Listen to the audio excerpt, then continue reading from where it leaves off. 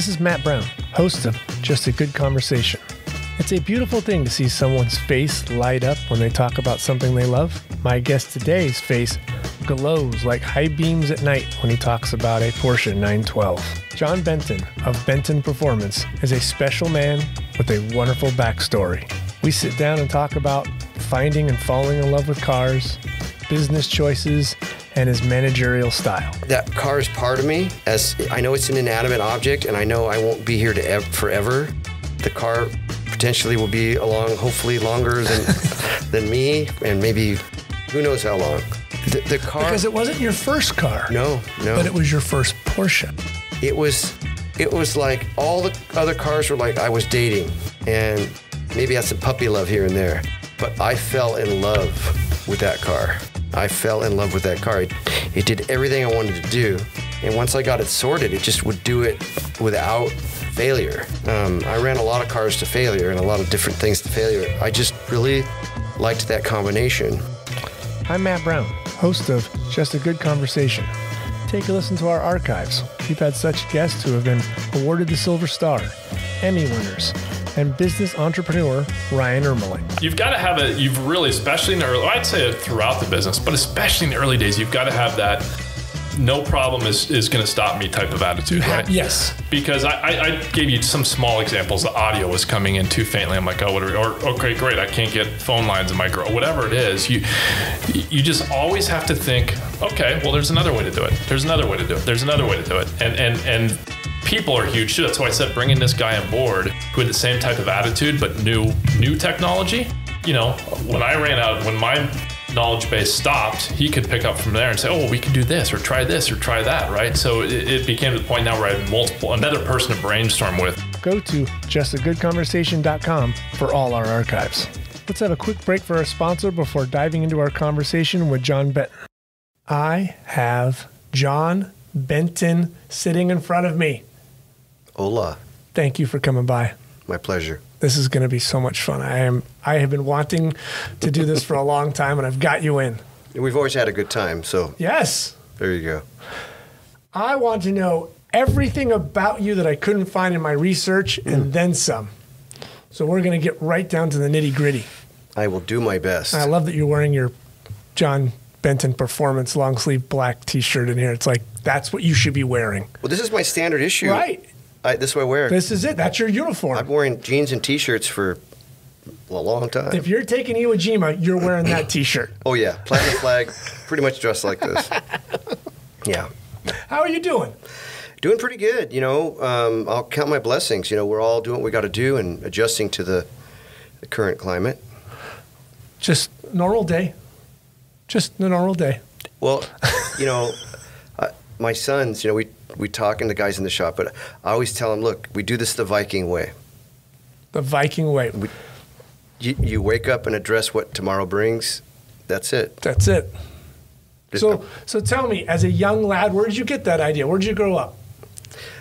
I grew up in Southgate, California, very right. close to downtown Los Yeah. Angeles. Yeah. At the Downey Norwalkish area? No, that would be like where the rich kids lived. Oh, Yeah. So- well, Southgate sounds like it should be rich. It's like a south Well, you and know, a South- gate. Southgate was uh, the But- edge of the mercantile city that LA was. You know, the the end of where the railroad went. You know, here in L, you know in this part of California, and Right. And uh, but uh, I would say that I grew up in a transitioning Southgate. Southgate was uh, so just heavy industry. Okay. uh, factories, GM plant, uh, Compton Forge, Schultz Steel, Bell Foundry, and it was a, for me, it was paradise. It was a very, it was mixed racially. Okay. Um, everybody was what I would call a real middle class. You know, everybody had a new car, relatively new car. Uh, Right. everybody had a color television. Uh, it was a suburban LA experience, the one that people try to recreate in movies Right, and TV and in stories. I lived that. you Single know? story homes, cut grass. Yep, yep. And, and apartments. I mean, I grew Right, up. sure. I, I we moved. We moved a lot. Let's just say that we could talk about that later. But I grew up in a uh, what I would consider paradise, but with some twists, and because life happens. Sure. And when you're a kid, you just roll with it. Right. You don't know any better when you're seven. No, no, you're just doing your thing. Just do your thing. Are you an only child or you got siblings? I have a sister, Okay. Leslie, two years younger than me, So you're the. much better looking. Thank God. yeah, So you're the older boy, uh, I am the I am the golden child. Yes, the golden child. yes. How was that growing up? Well, it's okay. I'll, let me let me just. I'll, I'll be totally honest about this. So Please do. I grew up. I grew up in California. I came here in '65. Okay. I was born in '63. So my first plane ride was as a toddler, and my mom moved to California to live with her sister, Okay. who had moved previously to get away from East St. Louis. East St. Louis. That's That- where I was born. That's where you want to get away from. Well, mostly it was to get away just from uh, my my father was not interested in having children. okay, so uh, I can tell you the story if you want to hear Let's it. hear the story. Yeah. So I was conceived in the back of a '56 Chevy. That's confirmed. That is absolute truth. Okay, my mom, and this is how my when my mom passed away, I believe in '95, and I actually because we knew the end was coming, I we had these really intense talks, like because I never met my dad.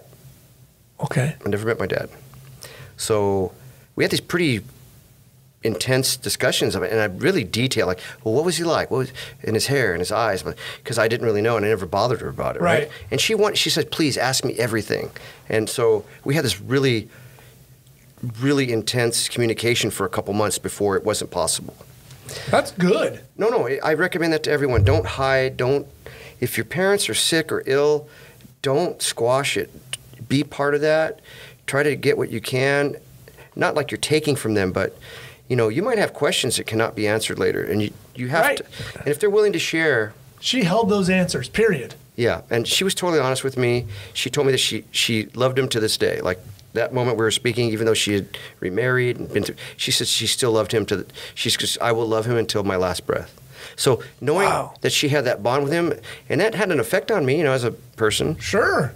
But um, I asked her, so what's the deal? How'd you guys meet? And she says, well, I was a poor kid. I lived over in East St. Louis, and in uh, we had uh, there, in St. Louis on the Missouri side, they had some clubs where they had what was called colored music, Okay. and but everybody wanted to dance to it. So you'd have this Right. mixed, very mixed, fun, upbeat thing, and people, you know, it's just like today. You know, people go to raves, do that, whatever. So my mom liked to party, and so did my dad. Right. And it's the 60s. And so my dad was like six three, blue eyes, blonde, you know, perfect specimen.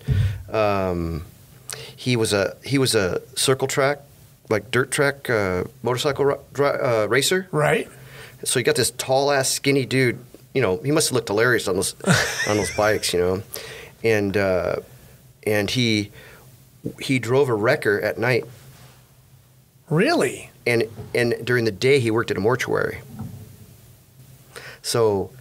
He, he was you know he's always hustling he's always working doing his thing so my mom said he used to joke that he'd get him you know coming and going because they people you know like die in an accident and he'd, he'd pull their car out of the ditch and the next day he's washing them off and getting them ready you know so he, she said he had you know a fun sense of humor and all that but long and short of it is that uh, my mom thought my dad was just incredible my real father Right.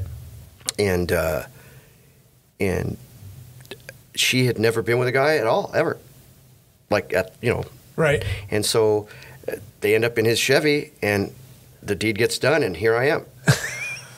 so, and I'm glad to be here. Yes. So uh, my mom actually giggled a lot. She goes, you know, she goes, yeah, the first time, you know, I never, I didn't get to have any fun at all. You know? Yeah, that was it. So um, then she realized, oh, I'm, I'm pregnant, and this is 1962 in a in a tenement house in East St. Louis. Her dad works on a my my grandfather was worked on a killing floor. He killed cows all day with a hammer. That's that's And a quite a, job. Yeah. Okay, and uh, and he bare knuckle boxed for extra money. Wow.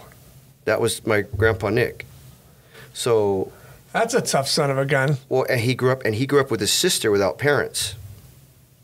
They were they came here as immigrants uh, Nick, uh, my my grandpa Nick, and uh, From where?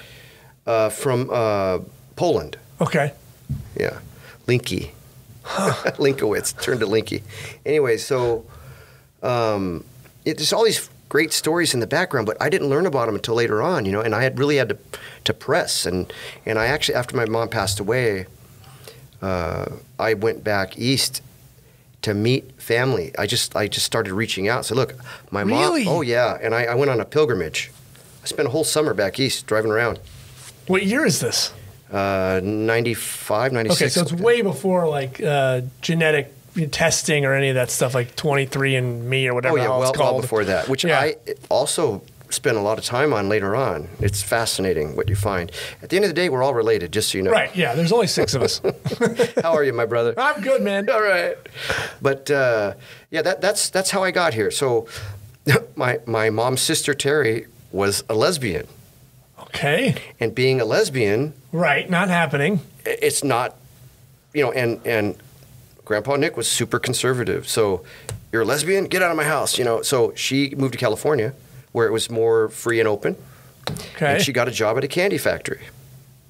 So now my mom is, you know, pregnant. Showing so, and pregnant, So sure. she gets kicked out of the house, into the street. Like, get out of here. Right. But she has sisters. She has six sisters. Six. Yeah. Oh, present. Right, has seven sure. sisters. Yeah. All, all girls. Jesus. Well, birth control didn't happen. A, No. A Polish Catholic dude Not happening. just makes kids. That's Right. what he does. They just that that that that's it. that makes a lot of kids. so, so uh, my mom had to go find my dad because he was like had I maybe heard what was going down and it's like laying low. So my mom found out where he lived because totally different neighborhood. Right. I mean, we're talking miles and miles and miles apart. In the 60s. It's not like you look yeah, somebody up. Yeah, yeah. So she started asking people, and oh, da- oh yeah, David, yeah, he lives over on this street. So she goes there, and Grandma Marie answers the door, and here's my mom, like you know, seven months or so, and she says, uh, "Can I help you?" And she says, "I'm looking for David." She says, "What's your business with David?"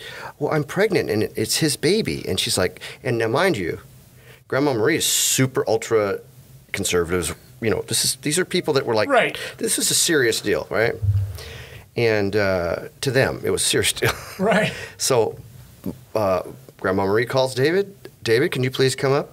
So he emerges from the basement where he's he has his like bachelor setup down there in the basement, and she said he he just like the look he, he turned white as a ghost, like, and that was it. So he had to sell the car I was conceived in, which was this beautiful hot rod. He was he was a mechanic, and his father was a mechanic.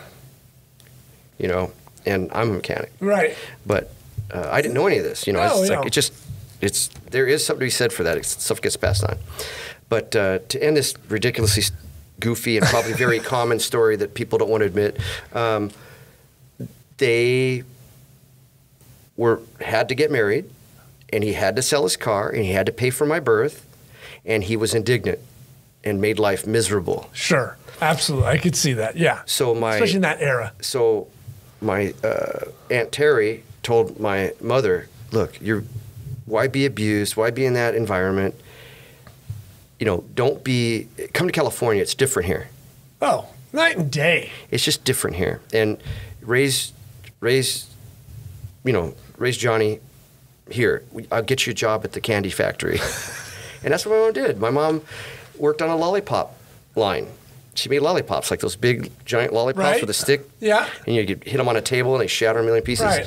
Size of a frisbee. Yeah. So that's what my mom did at Helen Grace Candy on, uh, what was that, Long Beach Boulevard in Lynwood, California. Wow. So there you go. That's Boom. You're here in Cali. So now I'm here, and um, mom met a gentleman named Leland Rash, and he was a beatnik, like probably the, the northern edge of beatniks because it was in the 60s now. Mm-hmm. But he was like a do bears bear to bees bee, you know, speaking the king's language, tattoos, you know, greaser. Tattoos. Uh, had a 49 Merc, green 49 Merc with uh, gold Appleton spotlights on it, you know. Wow. Mar- Marlboro six uh, like rolled, rolled up in up his marbles. Oh yeah, yeah, handsome devil. Committed. He was committed to the look. No, I mean he was because back then it wasn't a look. Right. It was That a was lifestyle. a, that was a lifestyle. Right. Now it's kind of a yeah. Now it's a look. like if you to, this is okay. I got to say this. if you imitate something from a long time ago, that's that's kind of a it's cool. I'm not Sure. going to say you can't do it, but uh, I guess it's a, an homage, like a like a you're you're paying tribute to that, and Uh-huh. you like it so much you adopt that. Right. But uh, back then, it was like that's just how it was. Right. You there were, you know, there were classes, and if you weren't a rich kid, you were either a greaser or a, you know, some kind of I don't know what they call it back then. But you were a nerd. Sure. You know, a you- beach bum, right? Yeah, Like, yeah, yeah. So he, that's who he was, and and so that I, uh, and he had a large, extended family. So all of a sudden, I went from being this, you know, kind of isolated little kid, uh, to being injected into this really large family group, with cousins and and people my own age and people older than me, and I got exposed to so many incredible things, and. Uh, I'm thankful for that because it, who knows what could have happened, but Right. tha- that's what happened. Now, Leland was not easy to be around. He loved to do drugs and drink and all that good stuff, and um, we don't have to get into that. But That's I got to tell you, podcast. no, but I got to tell you, I, it, it was. Uh, I had a very enlightening life. A lot of my friends had no idea what it was like to see somebody really intoxicated Right. or really high or, or having a dad that's awake for three days Whoa. and then sleeps for three days and you're not allowed to turn on a radio or a tv or a light because if he wakes up He's just an angry bear. oh it's on he'll beat the hell out of you Oh my gosh. so a lot of people don't people sometimes I say you know uh, geez john because i don't react the way some people react to certain situations you go downtown or you go places i see certain things and i'm like okay well you know too bad and other people are like oh my god i'm like i'm like oh that's nothing you know it's like you, know, you haven't seen it Yeah. I've lived it. yeah yeah so I, I don't know how far you want to go through Well, so no, did that? So, did those early years kind of shape like your teenage years? Well, okay, so uh, absolutely. Well, yeah, everything. I mean, I, I we moved around. Okay, so uh, Leland was a skilled electrician. Okay. That's how he made his living, and he came from a family of union uh, builders. Okay. Carpenters, roofers, plumbers, electricians. The whole family were skilled trades guys. so he had a trade, and it was electricity. He had a trade, and and you know, it was the, ir- the irony of it. It was this, is that his trade gave him the ability to make a bunch of money, and then squander it, oh. and then make a bunch of money and then squander it. So we, it was. I grew up in a fe- I know I know all about feast and famine, when the economy is totally good. Right. Did he make a lot of money because electricians back then were rare, and it was very like a specialty craft? Well, okay, so America was expanding, and uh, the baby boom from World War II, it just kept blossoming. I mean, and so new homes, uh, new homes, and and building, Right. and maintaining homes that had been built in the 20s and 30s here in LA, uh, required workers. In fact, in 1968, uh, the United States brought in a lot of skilled people from. Uh, you know, they had a, a program where if you were uh, you were Mexican, right? You're in Mexico, but you're an electrician or a plumber or a scientist or whatever. You, they, you had a, a fast track to get to the United States, Right. Yes, they did. And they brought in skilled labor. You know, They wanted it. They, we, we wanted, it. we needed it. So yeah, you could not not have work. And so it was. I mean, we lived fairly well, but it was a very chaotic thing where. Uh, when it was good, it was good, and when it was bad, it was. yeah. So I, I lived in this weird world where you know, like where you see a planet when it's like freezing on one side and and and. Uh, Well, a lot and- like the moon. Moon's really hot, Yeah. and it's really, really cold. so so let's just say you have this planet where it's scalding hot on one side, freezing on the other, but in the middle is this beautiful paradise. so you know, you, you you waited for when you were in the middle there, you know. you But tried to walk that line. yeah, yeah, and and looking back, I, I, really don't have any regrets. It, it just happened, right? But what happened was, um, you know, uh, I had freedoms, a lot of freedom actually, because, um, you know, when I wasn't at school, I was on a bicycle or on a skateboard. I was with my buddies. We're taping bullets to the railroad tracks. We're Right. setting shit on fire. We're we're building contraptions out of uh, uh, like uh we used to have this thing we called it. You know, you have a, a rickshaw. Uh huh. So, n- not to sound like a racist bastard, but we were all crazy kids, and and I got to tell you, we, I, we it was a United Nations where I grew up, right? But we built this And thing. that's the best thing. oh, it was so awesome, and we built this thing. We call I don't know why we called it this, but it was the Ing Feng Ching, Okay. and it was made out of a dolly. And dollies have two wheels on one side with a little platform, and you put Right. boxes on them, right? It's like a you know a, a hand truck Right. right? So a hand trucks have a handle that goes. Well, this one it went right at a ninety degree off of center, and I looked at that. I said, "Look, if we make a hole in a piece of wood and put an axle, the back wheels are straight. We can put a steerable front axle on this, and we can pull it with bikes and do all kinds of." And so we built it. What? How old are you at this point? Oh God, we were like nine or ten. And you were already seeing that. Oh yeah. So we built this thing and and we're pulling it. One of our one of the older kids had a motorcycle. We he's pulling it and, and the thing would go out of control and you just get launched, you know. Right. No helmet, just thrown Nothing, into the street nothing. or dirt. We used to play a game called Screwdriver. okay? And it has nothing to do with Ing Feng Ching, but it, This, this isn't like prison shanking, is it? Nothing. so, oh, so you know, Leland's an electrician, and he had all these screwdrivers and shit. So I, one day, I, I was just goofing around, and I I would take the screwdriver and like throw it at trees and stuff, and throw it in the dirt, and it would stick in. And the other guys are like, "Oh, that's cool!" And so you're, you're stupid kids. right. Yes. So in front of San Gabriel Avenue School was a concrete entry about eight feet wide, and then on either side is this beautiful grass front yard in front of the the San Gabriel Avenue School, and there's a, a big flagpole. Okay. Okay. So that ended up becoming like a playground for us in front of the school there. And we would take the screwdriver and we'd separate it into teams. And the whole idea was to throw the screwdriver at each other without hitting each other, but get as close as we could. And To the person. Yes, and if and they'd have to take a step back. So we'd start pretty close to each other, like almost toe to toe, and throw the screwdriver in the grass. Try to get just as close to their feet as possible. Yes. Okay. So if you hit them, you had to step back, but you- you'd hit their shoe, right? But if you got really close, like within like a foot, then that they had to step. Anyways, it's whoever ended up all off the playing field. Right. And oh my God, you'd get a gash in your leg, your chest. It's like, oh man, you know. So we did stupid stuff like that. Or Throwing screwdrivers. and then the flag, we discovered that the flagpole had this rope, you know, for the flag. It wasn't locked up. It had like just a little clasp, right? Sure. And well, we weigh like what, 55, 60 pounds, 80 pounds. We discovered that we could go on to the front of the school, which was a big walkway, hall area with an open frontage. But that that rope was so long, Oh. we could disconnect it from the bottom of the flagpole, stand on the edge of the rail, and just launch ourselves out like pirates off a ship. Yes, and we, and we would we could get over the street in front of the school and swing around, and then we'd let go and roll. Now people are in their cars, and all of a sudden you see these young boys like, you know, just Swinging over the like Peter. Pan, you know.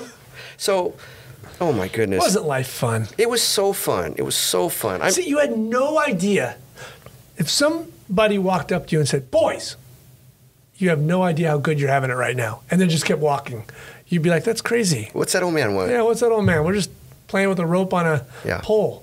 You have no idea, like Yeah. how much fun you, without fear, you were having, We and that is the most precious thing kids can have. we we had soldiers, little soldiers, Little green guys, right? and and and we had model we'd build models we had the greatest thing ever you don't even see them in the market anymore you'd buy these little balsa airplane kits Yes. with a rubber band Yep. some were gliders and you launched them Uh-huh. but some had the propeller And you spin it with your finger and then oh my goodness we would make those things and, oh, rubber band guns Oh yeah. we would make the most elaborate rubber band guns and have the most the best fights ever.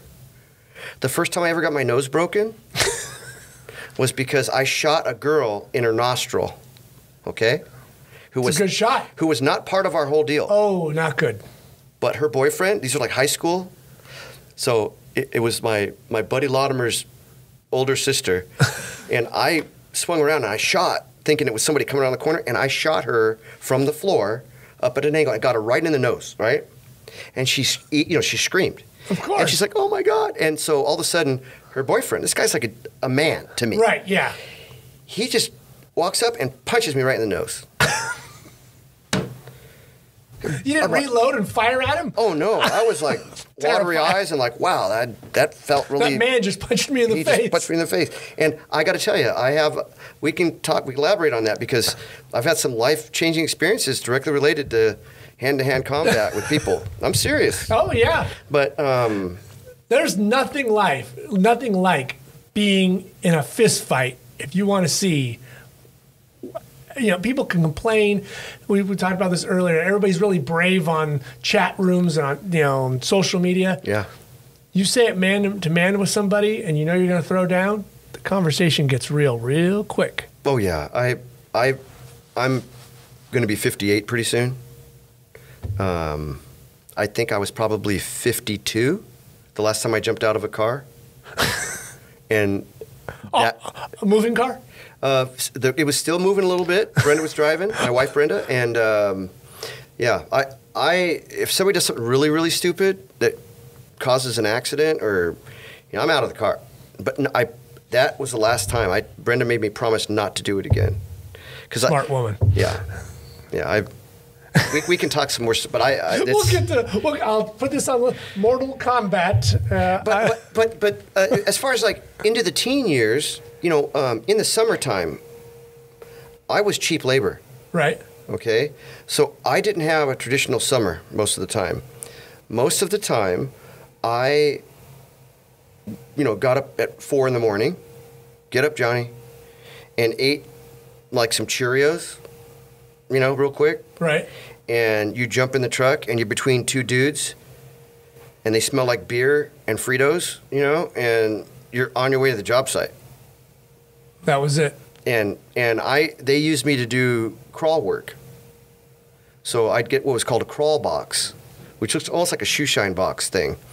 And throw some straps in there, some scotch locks or you know wire nuts, uh, electrical tape. Right. I mean, I knew how to do a proper telegraph joint, a proper splice when I was a kid. Like, I got a pair of side cutters. You know, you twist Right. it. You know, this how you just trim it. You and and after you're done, you get done. Strip You, it clean, make it all nice. yeah, strip the wire. I mean, I did that. I I would. They would feed a fish tape to me. I would set the boxes. You know, I'd go in there with, with flex rolls of flex, half inch flex, three quarter flex, whatever. Or, Right. um, and later on, they, it's called BX, it's a smaller version. But I grew up as a little, little mini electrician. That's what I did. Now, I didn't know what I was even doing. I'm, they're like, get underneath there. And They would just tell you, do this, do this, do this. yeah, and and mind you, you know, when you're a little kid, you're in this dark, dirty space. I, I preferred attics over, you know, under A tunnel or a tube or something. underneath. Yeah. And I didn't have claustrophobia or anything. Okay. What freaked me out was okay, so old houses back in the day, you know, they were made out of much better stuff. Oh, like, yes. Like real two by fours, right? Right. And lath and plaster and knob and tube. So you had wire, no conduit at all. Mm-hmm. And then knobs and tubes as insulators. And so wires just kind of ran around Yeah, scattered all about in the inner walls. yeah. And old button switches and bus fuses, stuff like that. So we would upgrade and put new services. So now you got breakers and and you, it's all to code. So now you have conduits and you have all Mm-hmm. this. So I would drag stuff underneath there and and uh, you know have the the flex straps, you know, Right. conduit straps. They look like a, a hook, you know, with a little flat on top. And, you, and you're in a close. So I mean, I'm not a little big kid. I'm a little guy. And I'm You're a like, little guy and you're trying to bang it and nail in as there. I got older, it was hilarious because I could one hand swing in a closed space and set it with one hit, you know. But when you're little, you're like Tap, tap, tap. pop, pop, pop, and now you got these guys outside. What the hell is going on? down?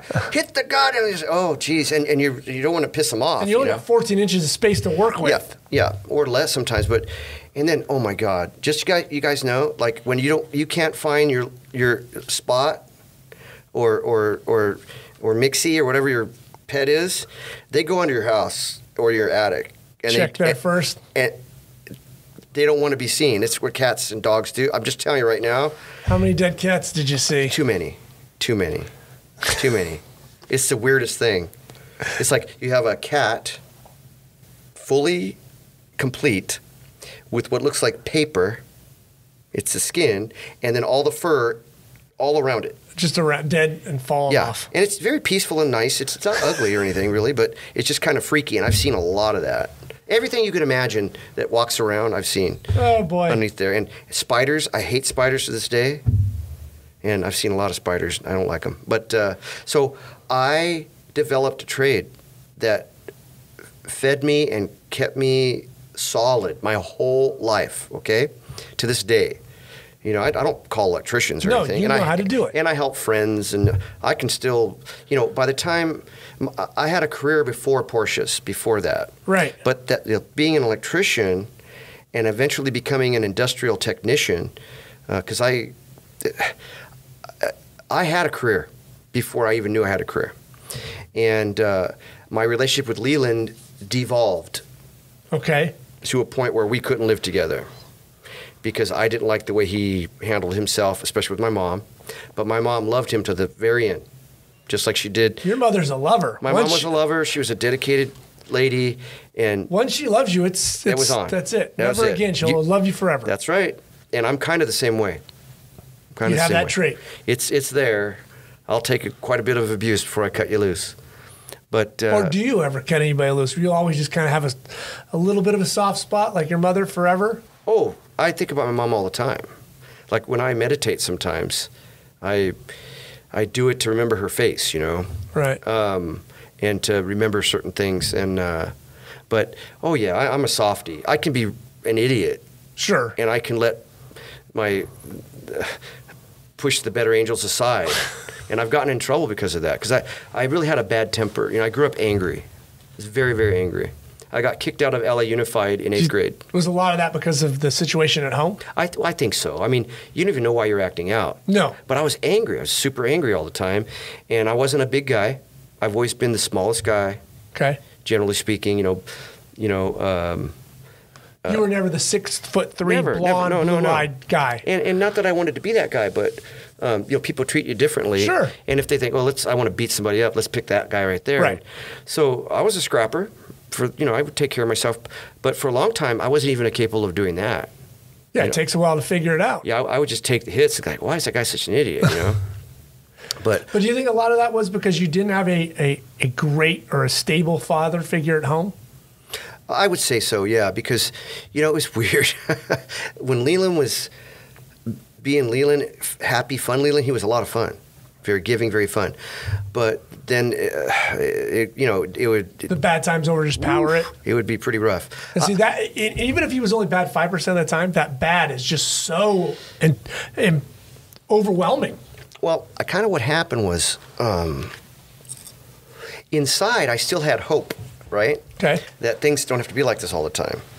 So um, what That's understandable, Yeah. right? You're But there were other men in my life, cousins, uncles, and other wi- and women in my life, like my cousin Denise, um, who were people I held in very high regard, and they they lived their lives in a better way, and I saw them being more productive. I'm like, well, they they got it figured out. So even at a very very young age, I tend to migrate towards people based on how they treated me. Um, and, and I was also hyper reactive to people that were too nice to me. Because just I, immediately climb on. well, no, like people, I learned early on that people have motives. They have motives for their actions, you know? Sure. Um, it was weird. I, I really got to see the best and worst of people. I, I, if I, we, we could spend five days talking about people because I saw people that were addicted to drugs, alcohol, people that had mental illness, people that were wildly successful, people that were amazingly gifted, people that that no matter how hard they tried, they were never going to achieve what they wanted. And I could see it. I'm like, wow, it's crazy. But um, it, I was a watcher. I've always been a watcher, and and it served me well because uh, you know you more can be taken from someone with a smile on their face if you're not if you don't see it coming. Right. So I, I really learned from a young age to really like okay, analyze a little bit, Read people. read people. Yeah, yeah, because And was that maybe because you were reading him? What's his mood today? Is he, Oh, absolutely, is he, absolutely. is he good? Is he going to be bad? You, you did not know. You had to like kind of like use the five feet you had to like, am I running? Am I, right. am I hugging? you know what's happening here? That's an interesting instinct that you build as a child Mm-hmm. and then carry it over into your adulthood to read people. yes, but uh, the detriment of it was that, believe it or not, I was super introverted. Interesting. As a child. Oh yeah, I, on the schoolyard, I was a small guy, and I got sick of like standing in line f- to play kickball or softball. And being the last one picked. or last whatever. one yeah. picked, and I wasn't bad at anything. I was Right. really super coordinated, I was super physically strong. I mean, like I, I, I love my body. My body's been very good to me, and and But it's kids naturally saying, "Oh, because he's the smallest. Yes. he's he's got to be the weakest," and they'll pick Fat Jerry Yep. over you know little teeny John. yep, and I, and also I was also a pasty white kid. Sure. and so it's just an interesting environment to be in. But um, I was also kind of I was very creative. I loved to draw. I loved to if I could get my hands on stuff, which wasn't always available, but when I did, I used it. You know, I, I love to make stuff, and I would. I remember at San Gabriel Avenue, I would. They had like this really cool clay earth. When it was wet, it was cool, and when it was dry, it was super cool. And the trees would drop these little twigs and stuff. And I used to go over there and build little cities and villages and try to keep it from other kids so they wouldn't know. And then inevitably, here comes the bully. Oh, you're you're a fag. And, Yeah. s- and stomp on everything. Yeah. And then, then the fight would happen. That stupid village. No, but I, I would I started fighting a lot, a lot, a lot, and it affected my grades. And and then people were like, "Wow, he's crazy." Right. I, I got really super belligerent, and and I think I, I said earlier, um, I got kicked out of LA Unified in eighth grade from fighting. for fighting, and uh, and I threw a book at a teacher. out of just frustration. Well, she she says uh, she asked a question, and I gave kind of like a, a funny answer, and she asked me to grow up in front of everyone, and it just struck me. You and just she, went- and she turned her back to me, and I I'm like, and I I snapped, I threw. I mean, I was a very angry, angry kid. Right. But there's a bunch you don't know about. So And it's funny because now they would sit you down with a therapist Yeah. and discuss their, your feelings, and then they probably put you on Ritalin, and then you'd be a drooling. Well, I'll tell you. uh, So here, here's what happened. This, I got 1977, 78 was a make or break time for me, because this is what went down. How old are you? I'm 13, 14. In very important years. Okay, and an event takes place. Walking down the street. I'm walking home. It's a summer day, and somebody hits me with what I think is a rock in the back of my head, right behind my ear, and I go down. And I come to my senses, and I'm laying in some bushes, like the not bushes, but what do you call it? The ivy, like ivy that grows in front of apartments Shrubs or something, right? Yeah. and and I open my eyes. I'm like, oh my god! And I touch my head. I got a little bit of blood, but not a lot, you know. So I I get up and I walk home, and I tell my mom, somebody hit me with a rock, and she looks at me. and She says, oh honey, you're bleeding right there, and she puts like some Bactine, Neosporin or something, whatever. and, and yeah. says, "Well, honey, I'm, I'm going to make dinner. Go- You go go rest." You know. So I slept, and I slept for like two days. Okay, and I didn't feel right, and then my speech was slurred. And I told him, "I don't, I don't feel right." She goes, "Oh, honey," and so I kind of a little bit corrected, but I didn't feel like myself. Now, mind you, something else was in the background before. I had been accepted into something called MGM, mentally gifted minors. I had been, I was super hyperactive, introverted, but the teachers saw something in me, and I had to go. My mom took me downtown. I got tested, and I had like supposedly this super high IQ, and I ended up in this mentally gifted minors program, and I got all of a sudden catapulted to the front seat of the class.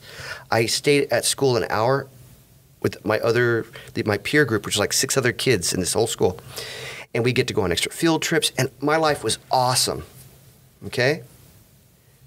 All of a sudden, I'm not functioning correctly. My summer, I spent it trying to like look in the mirror and talk to myself because I kept, I was saying like instead of girl, I was saying grr. I'm like, man, what is fuck? Man, what's wrong with me? You know, this I'm supposed to be like being attractive and, and Right. girls and stuff, right? I'm messed up, and I, and I and it made me even more angry. So, I get I get through, and I go back I, I go back to school, and I'm in these gifted classes, and I can't get the thoughts from my head onto paper. I'm like really struggling. Can't do it. I'm, I'm like really struggling. So I end up being put in a class. Oh no, I'm, I'm, I'm stepping too far. Okay, so Halloween night. Okay. Okay. Shortly after September, you know, you go mm-hmm. back to school, right? Halloween night, 1977. I'm walking down the street with my cousin, and this guy dressed in like a fatigue top with long hair, this hippie looking dude, has a old English can, and he's drinking and he's stumbling all over the place. And, and I'm like, and I looked up, I'm like, huh, man. I'm like, you should have another, because I always kept my sense of humor, right? and I was an asshole. And, I, and I'm, I'm like, wow, you should have another beer. And he says, what'd you say? I said, and I, and I put my hands up, oh man, I'm, I'm just playing. And he's like, and he comes at me. And I step back, and they used to have, used to see a lot this like St. Augustine grass. It's like a mm-hmm. mat. Yeah. And it can grow a foot thick. Thick and full. Yeah. And I stepped back into this. It was a, a cutout around a sprinkler. In si- this real like six inch deep. yeah, grass hole. Right. Yeah. And my foot went in it, and I'm laughing, and I'm stepping back. And I was like, oh, and I looked down, like whoa, because I'm stuck. Like look, and this guy was uh, an art like a he'd just come back from Vietnam, like or uh, was a like Right. still in that place sure. okay? And he lost his shit. And he did like a karate kick between my knee and my ankle and just shattered my leg. Compound fracture. What? I fell over. I'm completely like damaged. Like this was like to kill me, right? This guy like totally. This is a grown ass man, like a 250 pound dude. He just took me out. And now I'm laying in a front yard with two knees. I'm in really bad shape. And I was just starting to get back on, like, feeling, but I, so now I'm bedridden. I ended up having to be put back together. And my leg is now, I got one leg different length than the other. And things are really messed up. And I'm, I'm going to school on the phone. On the phone. So back then, so when this all happened, my mom went and said, "What do I do?" You know, he has to go to school, right? And even even the school had contacted, so they put this phone. Looked like it was from World War II. You know, it's got it's this black phone with the buttons on the front, Uh-huh. and it had uh, and a switch. There was a switch on it. And there was a quarter inch jack for a set of headphones that looked like Lily Tomlin, you know, Right, switchboard operator. I don't know. Some people aren't going to realize what I'm talking about, but Ah. you see these old movies with the switchboard Yeah, operator yeah. where they're they're pu- punching. hold, and yeah, Please hold. pushing. I will connect you. And they Yeah, okay. So. I ha- so I have this like antique thing. They bring it in. This lady comes in. She explains how it works. Tells my mom. I'm like, okay, whatever. Oh, I they bet said, you still you wish you had that. Oh, that would be a Well, they take it when you're done. I know. so so uh, for almost like like nine months, I went to school. I was bedridden for three months.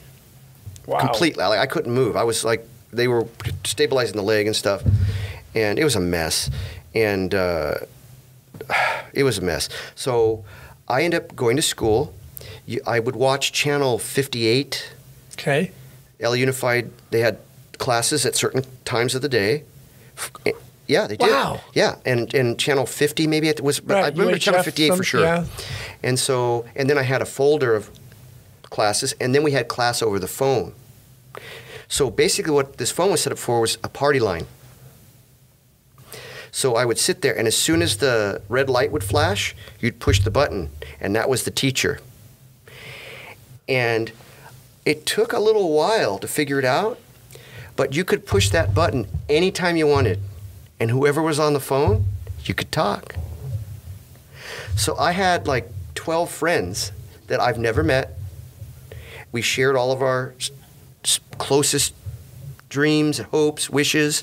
Some of us died because some of the kids had like leukemia or other forms of cancer or, or something going with their heart. Right. And you just had a broken wheel I leg. and so I was, and and I really stopped feeling sorry for myself real fast because we're like, what, what, what do you, in, what, what do you got? It's like being in prison. Who, Sure. What'd you do? You know, it's like, I don't know if I, you know, I don't know if inmates actually ask each other what they do. I bet, yeah, they do. I'm sure. So, my, my time in jail is limited, but I, I uh, but but I had this really weird thing going This on. This little bubble of people you knew. yeah, and then we would get sad together, like because we knew. Or like you were leaving the group at some point. Well, everybody had left the group either because you got better, Right. but we would talk about that, like like oh man, my my blood test came back really bad, you know, and we're like oh man, it's gonna be all right, you know, and we're really super tight. And then when that person didn't come to class, You knew something was wrong. we knew something was bad, and we'd ask the teacher, and the teacher would say, well, I'm not, I can't really discuss that. Right. Carol just won't be with you anymore. Yes, and that was a bummer. That was a bummer, you know. What a crazy little group. Like it was like a little Yep. first ever chat room. It was. It was like a little little chat group, and we could. And once we figured out we could talk, it, that was very very helpful for all of us. Right. We would play music for each. other. Have you heard this song? Right. Check it out. You know, it's Van Halen, man. Check this shit out. So it's like, uh, you know, oh my god. And we had we had our little mini Kiss army. Oh wow. Yeah, it was it was pretty good. But I, but I got better to where I went to therapy. And learned to walk again, and build my muscles he just back and stuff. crushed that leg. Oh yeah, he hammered it, and so they were was he ever caught or any prosecuted or No, just no. just crazy guy goes off into the neighborhood? Um, it- it's a long story, but basically, different world, different time. right. Yeah. And uh, It wasn't an Amber Alert put out. yeah, yeah. So now, I I go back to school. It's ninth grade. Okay, so I, I, I jumped forward earlier and I screwed up a little bit, but It's all right. I end up coming back to Southgate Junior High. okay. and I can't. I, I'm so far behind. You know, I was I was going to start. I was going to start like trig. Oh. You wow. know, in eighth, ninth grade, I, I was advanced math. You were was- up there. Oh yeah, and all of a sudden I'm like, you know, flowers for Algernon. You know, I'm like, oh man. this is bad, and I knew it. Something was really weird, but I couldn't put my finger on it. Was the slurring still there? It got better and better. I, I worked. I really worked on it a lot, and I. Um, you think it was a concussion or Oh, some no, I'll, kind of? I'll tell you exactly what it was in a second here. Oh. So, so I end up being put in a in a two period class in the middle of the day called remedial honors. R- I swear to God, I should get a T-shirt that says remedial you, honors. yes. So it was I this. want one. This really existed, remedial honors, right? And remedial honors existed because of the newfound, um, basically marijuana and alcohol. So a lot of really smart kids that were in the MGM program in LA Unified, Uh huh. we got bored really easy, and we were very, we were promiscuous in almost every way, uh, and we were very curious, and it was a commonality that we had, even if we didn't have the same kind of personalities. We were very open to almost anything, right? Okay. But I was very like, I've seen what this shit does, so I was like the straight arrow. So I never would have been a remedial honors ever, but everyone else was there because of that. So here I am in remedial honors, fighting to get through this cloud I'm in, not understanding exactly what's going on, surrounded by a bunch of drug addicts, junior high drug addicts, and alcoholics, Wow. That is nuts. and people that had emotional issues. Sure. So you had mental illness, addiction problems, and then me, I'm like, man, I don't know what's wrong with me. And I had my anger issues, right, which uh, had come to play. You know, it's kind of a fog. So I'm just telling you that in that window, that that weird window, a lot of weird things happen to me, and uh, and I didn't know why. But I met my teacher, Bill Crosgrove, in remedial honors, and we're still friends to this day. Um, he knew I wasn't one of the drug kids, and, and I was su- still super creative. Like he did a project where we he gave everybody access to an eight millimeter camera, film camera, and he knew I was into photography because I had built a, I had shared with him my box camera that I made because I made a, a pinhole camera, mm-hmm. and I used to take pictures on campus. I love taking time exposures with the pinhole because all everybody's everything's in focus except for the people. Right. All blurry. Yeah. So, anyways, it's a long story, but um, I still have the creative part was still in there, and and I'm like, really, we get to make a, a cartoon? He goes, yeah. and he gave us the parameters like here you could do it. This is you can do whatever you want, but I'll help you out. Blah blah. blah. So Stay I, in this framework. I used the chalkboard because I could draw still, and I drew a space launch, Okay. two frames, modify it, two frames, modify it, and I made, you know, he he said, look, you're going to run out of film, so you got to kind of plan it out, and and I made this really cool. How much time did you have? Five minutes? Uh, if that. Maybe- If that. okay. But, but no, yeah, it's probably somewhere around. But, but I, I use my time wisely, but I basically just made a, a space launch. You know, it's kind of cool. And then and I changed to a new frame, but it was still in the same thing. Right. Because we made it, he showed us what a storyboard was. Wow. This guy's Yeah. thinking. You know, he, he's a brilliant man. He's a great man. And he was, he's like the, the best uncle, father figure dude. We, we've done some incredible things together. Nothing creepy. You know, he's, uh, he's a really good dude. and uh, I've had some creepy things happen. We don't have to talk about it, but we can if you want. But, um, you know, I, I, uh, I thank him very much for saving me, you know?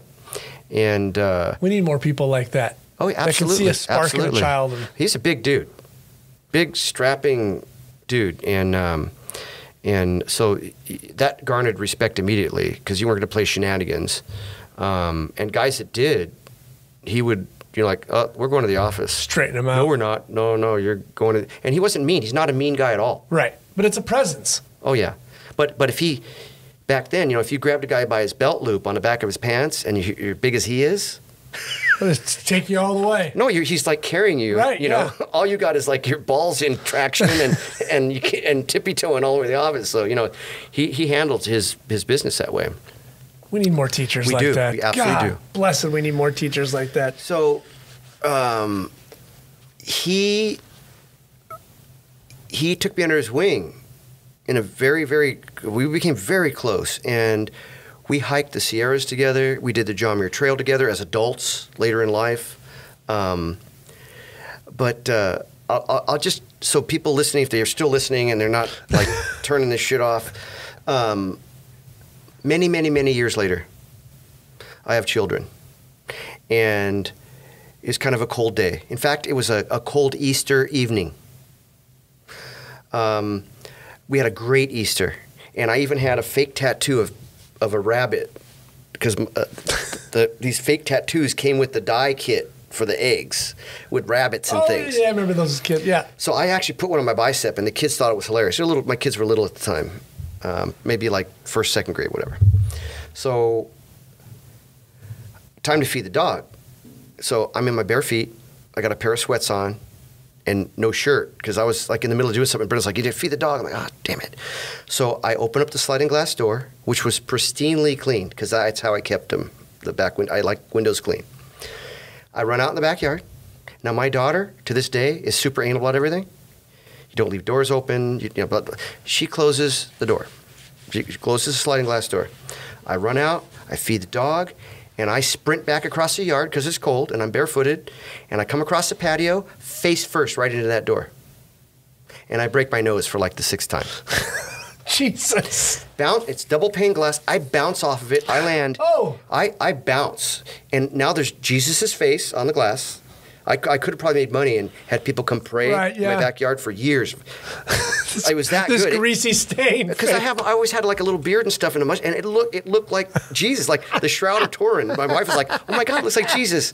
So I said, "I, I, so I saw Jesus, babe. I'm telling you, Yeah. because I bounced and landed like head and shoulders first on my back, and I get up and I'm, and I'm pissed, and Brenda's doing dishes, you know, because we had some people over earlier in the day.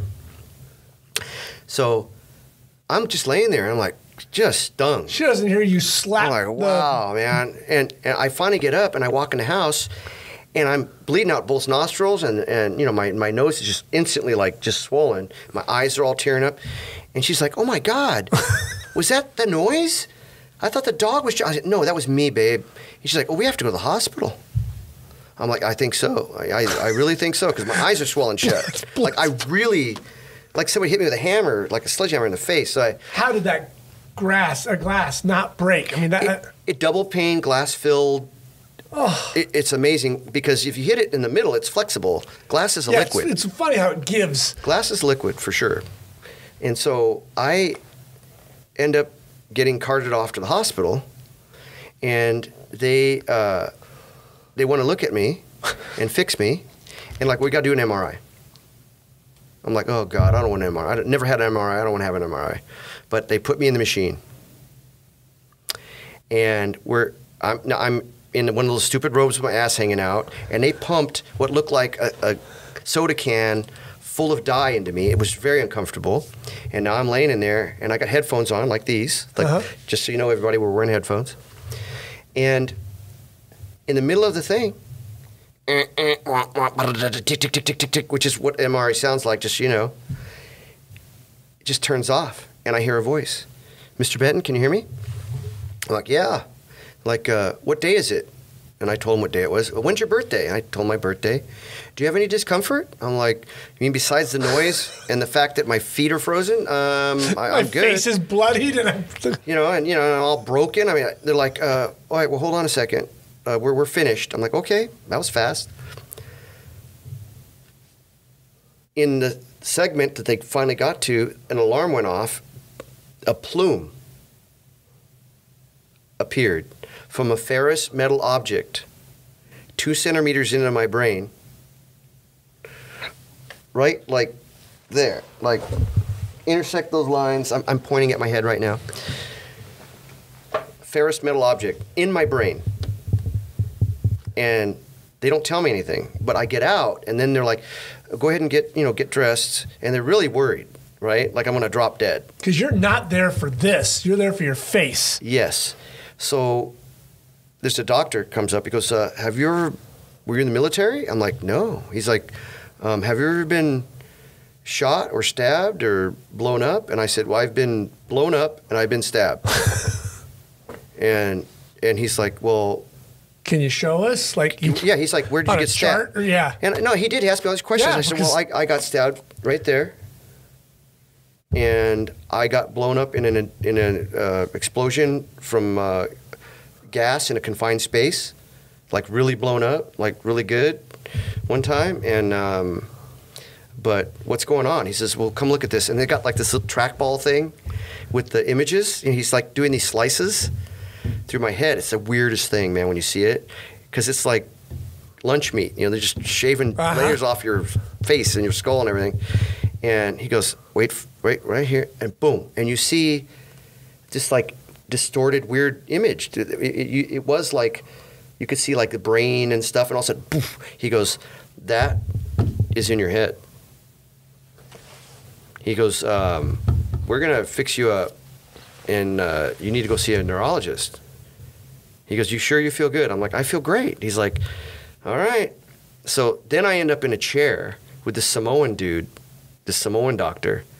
You never think he was a doctor, but this guy looked like he could just, like, it was like The Rock was this doctor, and he had his real tight sleeves on his thing.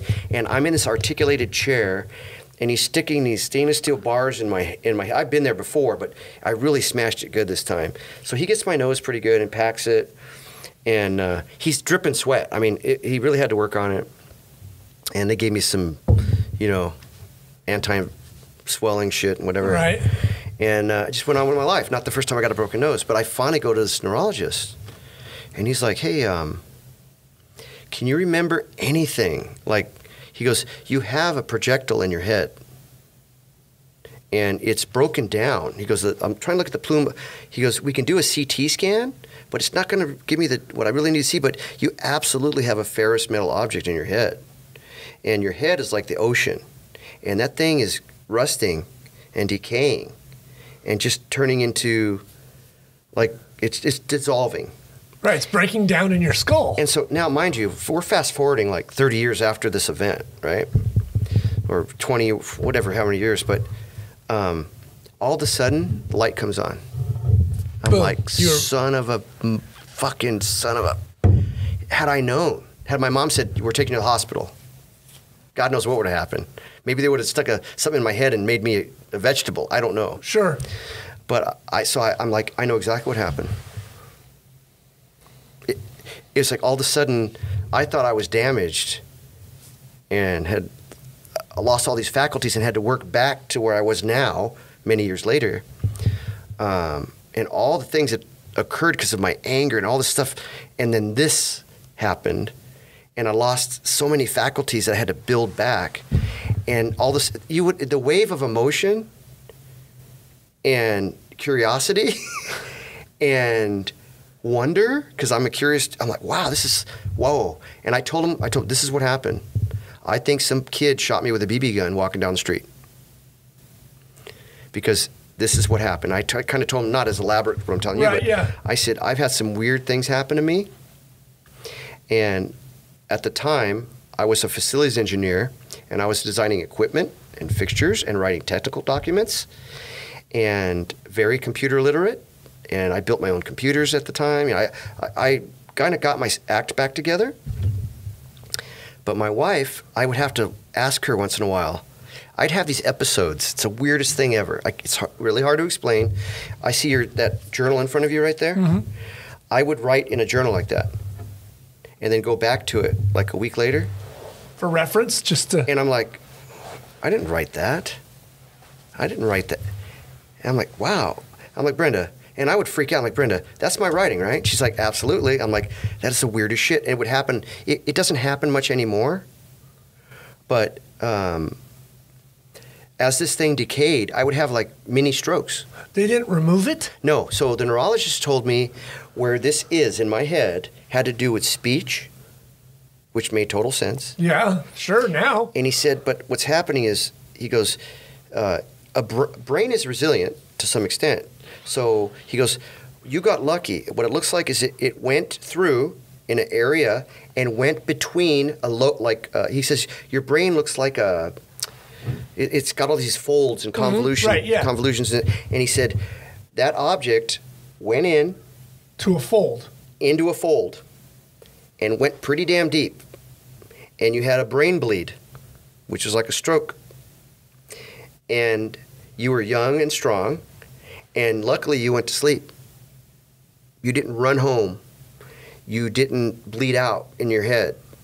You the your body did what it had to do, and it, it clogged the leak, but you had a stroke basically. And that stroke followed you, and it's been following you to this very day. He says, We cannot go in there and do anything about it. He says, The amount of damage it would do would be catastrophic. He says, The fact that you're mm-hmm. functional, Removing it would be more damage at yes. least. Because he goes, What we would be probably going in there and finding is rust, which is very much like your blood. He says, So what happens when you have a stroke or an aneurysm? You bleed into your brain and it short circuits it because of the iron content. It just short circuits Right, everything. yeah. He goes, So what you have is this thing. There's probably some kind of shell around it. It's this right. debris BB or now. a pellet, whatever the hell it he is. says, so it's going to continue to break down. And it's just part of who you are, but it's not going to kill you. wow. So, and this is several. This is a long time ago. Right. You were a kid, 13. Now you're a And- grown man with children. Now I'm a grown man with kids, and I'm in my 30s or whatever. So it's 20 years later. And so now we're another 20 years later, and uh, and I worked in some pretty crazy environments, you know, and a lot of responsibility. Does it ever go off like a metal detector or still No, it's, bother it's, you? it's too small. I mean, now it's just gone. You can put a pocket full of BBs in your pocket right now and go to the airport. You're never going to see them. If they do one of those scans, they'll, they'll might see it. Like, what is that? Oh, it's little BBs. And what are they going to do with them? All right. You know? So, But is um, it? Have you had it checked? Is it like still there? Is it gone? Is no, it, I mean, the is it- neurologist was really kind of like, look, he goes, keep an eye on it? no, no. He just says, you know what? If something happens, you know, you got your wife. Um, they considered making me wear one of those uh, wristbands since I can't have an MRI. Okay, like a medical alert kind of thing. Yeah. Yeah. And I told Brenda, I'm not wearing one of those stupid bracelets. no, if I end up, if they put me in an MRI and it squashes me, uh, too bad. But I have a feeling that if I'm in an MRI again, it's going to be something really bad. So I, I'm not worried about it. So I don't wear one of those stupid bracelets. But so uh, I did. ha- I science is wonderful, right? We have all this technology and all this stuff. I got one of those titanium posts Okay. a couple years ago Uh huh. like a year ago. I got one of those titanium posts to put a tooth on. It's really amazing, awesome. Takes a while to do it right, but I'm that technology rocks for me. Don't do the quickie one, guys. Do the one that they put a post and address a tooth at a time. That, that works really well. Um, but anyways, I uh, had to go in for that, and they wanted to do a scan of my head. I said, I can't, I, I can't do an MRI. And he's like, we'll do a CT. I go, will that affect medical? He goes, no. So I had a CT scan, which is even more crazy. You're in this, like this chair with this thing. You Spins around oh, you, man, it's yeah. incredible. It's so Star Trek. It's awesome. So they do a CT scan, and I asked them, hey, can you go up, make sure you get, and the guy's like, well, I guess I can't. Like the, this is the anesthesia, not what is it, the uh, radiologist guy. I, I, I want to see something. So he, he shows me the scan, and there's no longer anything really noticeable. Uh, The uh, actual, you could see an object. It's not there. Yeah, it's it's uh, it's it's like more like a nebula cloud. Yeah, it's broken down now. So I think whatever whatever gifts that gave me and whatever melodies it was giving me, it's become a non-issue. Now, once in a while, I do have a little slurring, and it may happen while we're talking, but it, it's still it's a weird thing. It affects. It's weird. I can't explain it, but for a long time there were a lot of mysteries that I had no explanation for. There you go. Your daughter doesn't close that screen uh, or that sliding door. Yes. Nobody knows. So I know it's a crazy tangent, but that definitely affected me as a person. Sure. All, everything, you know, we all have our things to deal with, but I, man, I don't know where to go from there. But well, I mean, that's pretty wild. yeah, but you get your act together. You get through high school, and the, Well, I- the yeah, BB's so- the BB's still in your head. So when I was, uh, I had, by the time I got to high school, I, I by the time I got to my junior year, I started to roll pretty good. You know, I was like, I got this, and I had my little Volkswagen that I had painted a house See, to that's get. that's what I was going to ask because you're a car guy. Yep. Where do cars fall into your life at this point? Are you that four, 15 and a half year old boy waiting to get your my, ca- permit? my car was my house. get your get a car at 16? Yeah. Are Well, you I just were you looking at looking at it as time? When do I get a car? How much does it cost to get a car? Well, I uh, I got my I got my first ticket when I was 14, joyriding, a 64 Impala, Who's Impala? uh, Leland's Impala, Oh, of course. and How uh, did that go down? um, a policeman on Tweedy Boulevard pulled up next to me and asked me how old I was, and I told him I was old enough. And he said, "Pull over," and I pulled over, and I get out of the car. I'm a midget, you know, and he's like, he's just shaking his head. Probably just saw eyes over the window. Yeah, yeah, I, I could barely. I, mean, I was sitting on the edge of the seat, you know, tip, you know, just barely able to touch. Tapping the gas. It's a big bench seat, you know. it- Yeah, oh, yeah. It's got this. You pull it forward, it glides with effortless glide, and you. Right. And I'm got the wheel, and I'm doing my thing, automatic, big, you know, it's easy to drive. so, he's like, "Where do you live?" I said, "I live on Alexander." He says, "I'm going to follow you. Drive home." So, I drive home. Use the turn signals, line, pull up, park the car in the driveway, put it in park. I get Now, out. where did you get this confidence to feel like you can drive? Well, when when uh, Leland's family was huge, Okay. and I had all these fun cousins, and sometimes in, sometimes we'd go back to Texas for family reunions. Okay. For the Greenhaws, the Rashes. They're all farmers and crazy people. They like to drink and fight, and I mean, like, Good Texas time. oh my God, I, I can. some of the best fights I've ever seen were not on HBO. It was like Uncle Dale and Grandpa Don. You know, like Going at it in the oh, backyard over something. knife fights. I mean, like I'm telling you, I've seen some incredible things. People don't people don't know what it's like to be really alive. You watch these shows like with Vikings and shit. When people would raid your village. I mean, this what this is this is who they are. It's just different era. Bro, it is. People have no idea how comfortable it is. It, we are we're so trapped in our little TV world. But anyway, Nobody raids your village anymore. we right. hope not. Right, but no, nobody like you don't look in the distance and see ships, and you have to start blowing your horn Yeah. and gather up, Yeah. you know, Yeah. everybody and take the women and children and Yeah. send them to the hills. It's pretty wild. but uh, without making this all about this crazy whirlwind childhood I had, I, I But that's what shapes us. It- it- it is Our what shapes childhood us. shapes us. yeah. So, in Texas, you learned how to drive. Yeah, so so I learned how to shoot guns. I learned how to fight. I learned how to drive cars because they would just take one of the cars Like one of the kids would grab keys because all the adults are so drunk they can't get out of a chair. Right. And they're and they're listening to old timey music and dancing and stuff. And we'd go out, we'd get an Impala or Bel Air or Ford truck, and now we're doing donuts out in a field and laughing our asses off. And like, come on, Johnny. And I'm like six years old, like, and they're working the gas and I'm working the, the steering wheel, you know, and and everybody's like, oh yeah, and I'm just turning the wheel and turning the wheel and and then all of a sudden now you got a gun in your hand and like, oh, shoot that bird, you know. And the first gun I ever shot was a 357 Magnum. How did that not come back and take your head oh, off? Oh, it, it almost flew out of my hand. and like I was like, because they said, hold it, hold it, Johnny. And I'm, I got a death grip on that thing. I could barely pull the trigger. It was pretty Yeah, hard heavy, to heavy pull. hammer, yeah. And so I think, I think, I think my uncle Bob actually cocked, Cocked it it back for you? because I couldn't make it go, and they're all laughing. And there was this. The first time I shot a gun, I killed an animal. It was this big black crow. It was on a fence post, and like, shoot that bird, Johnny. And crows are funny because they're like just like looking, like you know, Right, staring at you. yeah, yeah. Some You some dumb. animals they don't give they don't give Right. crap, and they don't, and this bird obviously didn't realize what was going on. And I just looked down the length of that barrel, and I pulled the trigger, and all I was like, whoa! And I, I didn't even know what happened. But they're all like, oh, they're like cheering and stuff. And then by the time I looked, all I see is like feathers in the wind. You know, I'm like, oh man. And, someone's trying to grab the gun out of your hand Oh 'cause yeah, it's probably oh yeah, absolutely, absolutely. They, they had a gun on, and then I think the second time I shot a gun was a giant shotgun, like a 10 gauge goose gun, in a trash pit in New Mexico. Jesus. You know, they're all drinking beers and they all these guns and stuff, and they like, here, Johnny, shoot this gun. So here I am standing, there, I'm probably like eight years old. I got this big goose gun. The goddamn barrel's like it looked- probably as long as you. it was hilarious, and they were all just wanting to see what was going to happen. And I, You're the entertainment at this yeah, point. so I shoulder that gun. I know how to shoot a gun, you know, and so I shoulder that gun.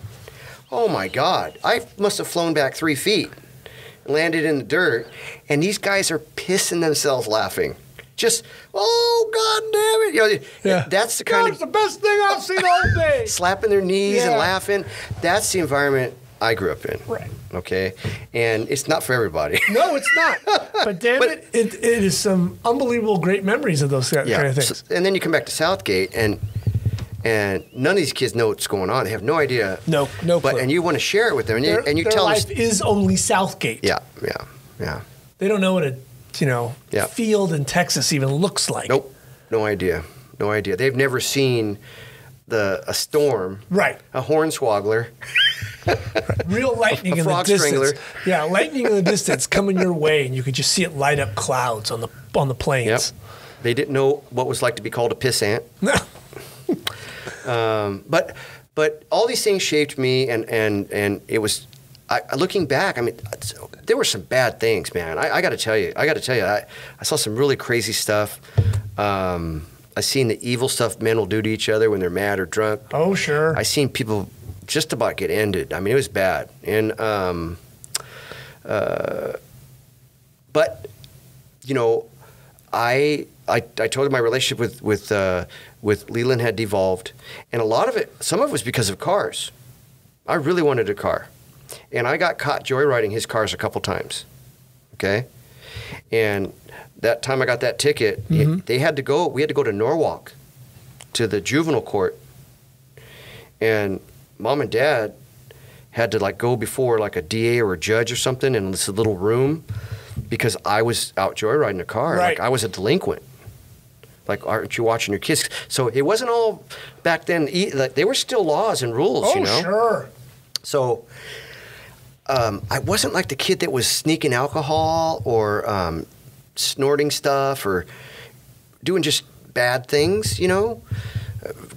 Looking in the medicine cabinet, I wanted to drive. I wanted to draw. I wanted to blow shit up. I, I, I was have that was where I was at, and so um, But what what caught your eye about a car? So car to me was like this this freedom machine, right? Because we went all over the place. Those trips to Texas, Oklahoma, New Mexico, you know, almost getting washed off the road in Cloudcroft.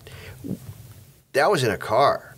And then also I got all these cousins, and they all had fun cars, and all the and, so, and you got to remember, like when your cousin is uh, a plumbing foreman.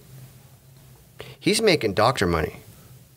I, I, I can't explain it to you, but if you've got a cousin that you're tight with, and he's got a orange Porsche 69 911S, which was the case, that I'm like, man, that guy's a badass. You know, like, so like my cousin Mike, he played tennis. He's he had like the perm, the gold chains. Always rolled around with a with Bacardi and Coke in the Porsche in the little pocket, and he had a glass on the other side, and he'd roll around, no ice.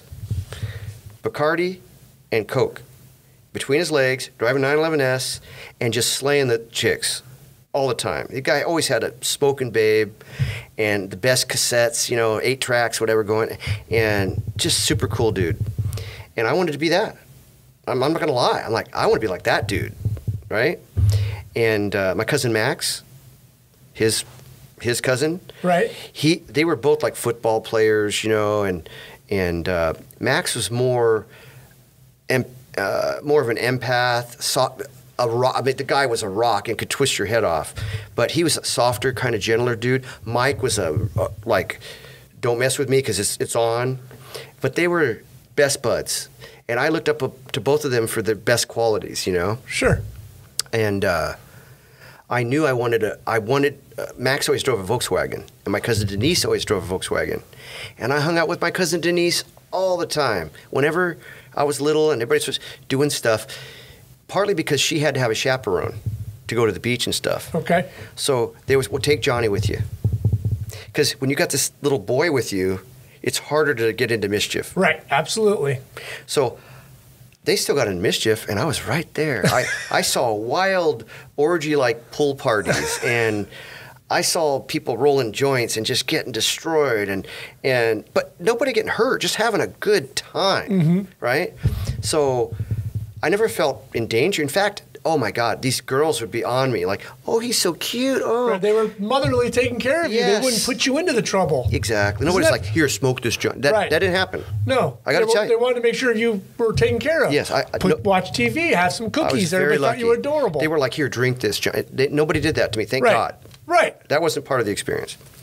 So Isn't Uh, that funny though? Like all these girls, and they just thought you were the cutest little thing. Oh, my god! And they just wanted to take care of you motherly. And then they go out and dive butt naked in the hot tub Oh or my pool. god, it was so funny. So Mike used to call his girlfriends. All right, he'd call his girlfriends. Hey, Johnny, come here. Come here. T- tell Becky hi.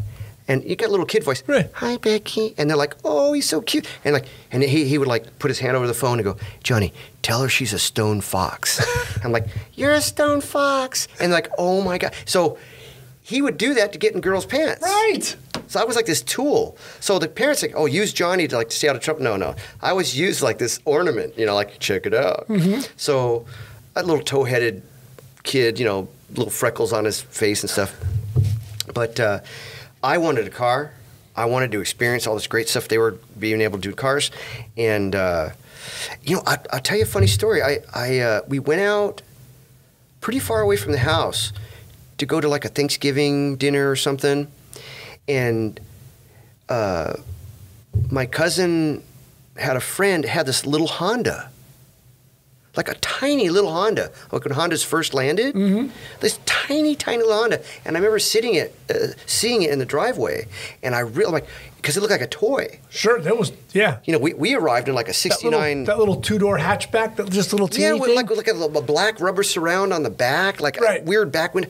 It looked like a toy, and because I think we arrived like the '69 Longback Impala, you know, it was like a yacht. a block. And so I remember sneaking out away from the party, and I went out there, and I must have been I don't know how long I was in that car. you were fascinated, weren't you? I was fascinated. I was I just sat next, and it was so small that I kind of like, wow, things are kind of, excuse me, things are kind of closer. And I remember this stupid little Honda car being, I fell in love with that car. Like I dreamed about that car, and I never saw that car again. That was the one time, like like it was like a one night stand with a beautiful woman. But that was it. And she it's in your mind forever.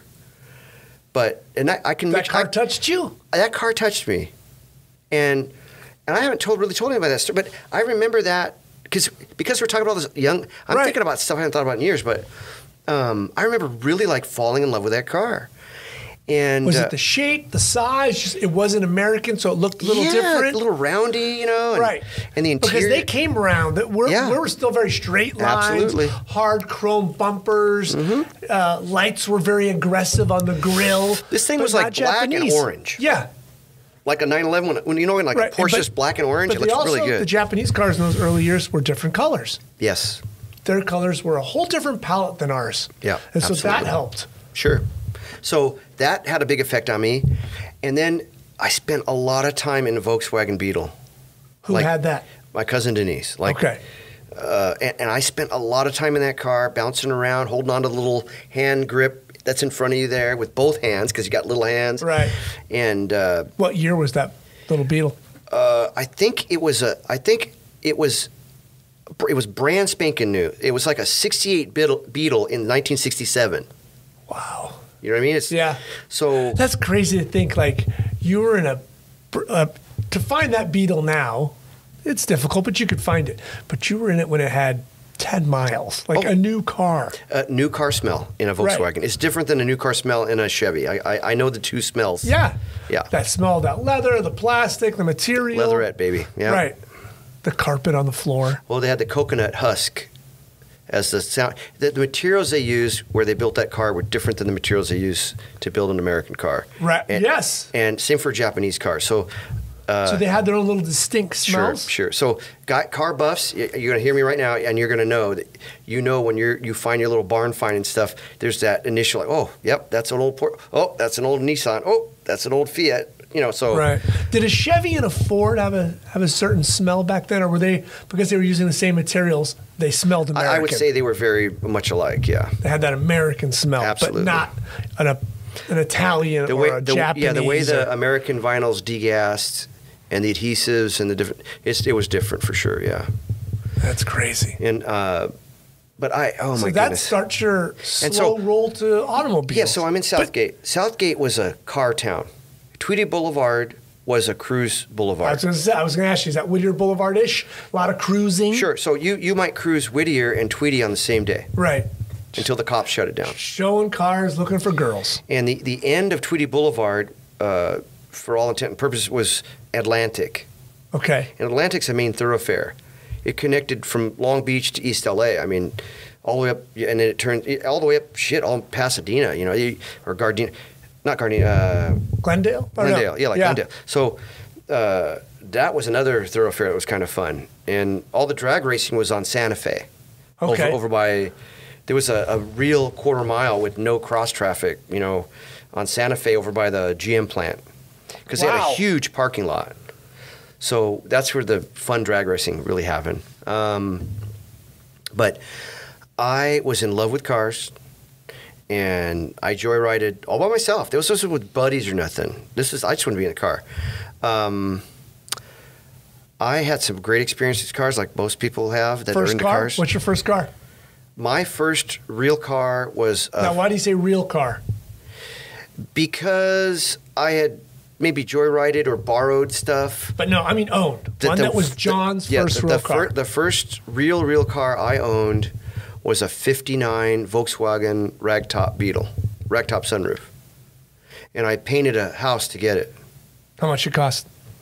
Uh, well, it's kind of a crappy story because I got ripped off. Because I, Just know, throw me out a number. What do you? 600 bucks. Oh my God! What a that's great. That was way too much for that car. Of course it was, but still, like trying to get a kid to buy something six hundred dollars now, you would be you would think it's unsafe. Well, it was kind of a crappy story because it was it was my aunt, my aunt, my aunt Kawana. Mind you, these are people from Oklahoma and Texas. Kawana, that that was Aunt Kawana. She, she had kind of abandoned this Volkswagen at my grandmother's house, Okay.